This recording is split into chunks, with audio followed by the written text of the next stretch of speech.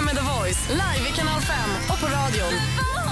Vakna med The Voice och hitsen nonstop. Men det var länge sedan nu Jakob. Jag ska säga, jag kan inte garantera att jag kan det här halvlåten, men jag kan prova. Ja. Vi brukar ju börja lite så här. "Åh", sen stiger det så här. "Åh, "Åh". Lite sådär. va? Men, eh, Vad gör vi?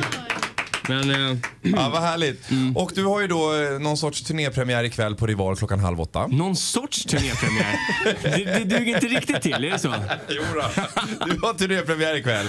Och då kan man, kommer man bland annat kunna få höra den, eh, den här sången va, som du tänkte köra nu. Ja, eller? jag börjar med den tänkte jag, sen blir det värre. Ja, sen blir det värre framåt natten. Som Thomas Ledin skulle ha sagt. Varsågod Thomas.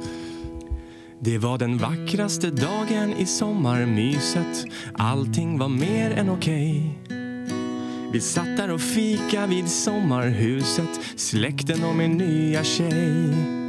Jag var lite spänd när de skulle mötas, hoppas de gillar varann. Men sociala spelet verkade skötas och jag var en hoppfull man. Då såg jag något i min ögonvrå i höjd med pappas shortsnivå. Har han inget byxresår? Vad är det vid hans lår? Pappas pungkula hängde ut. Eh, pappas pungkula hängde ut. Jag fick panik och tänkte nu gör min flickvän slut. Pappas pungkula välde fram som i något konstigt naturprogram. En säck av skinn på typ 900 gram. Fy fan vilken skam.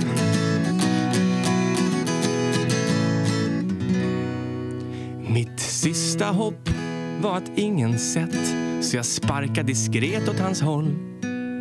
Då ropade han aj och han vred sig snett så alla såg hans bleka boll.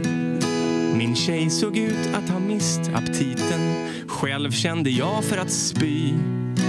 Sommaridyllen blev söndersliten av världens sämsta vy. Han hade svettats sen igår, den satt fastklibbad mot hans lår. Karl av ålder med två grå hår, han borde haft resår. Pappas pungkula dingla fritt.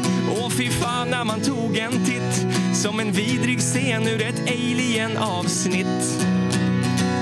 Det här var värsta scenariot. För när jag suttit ett tag och glott kom jag på att det här är ju värre än jag trott. För i den har jag bott. I den har jag grott. I den har jag bott. I den har jag grott.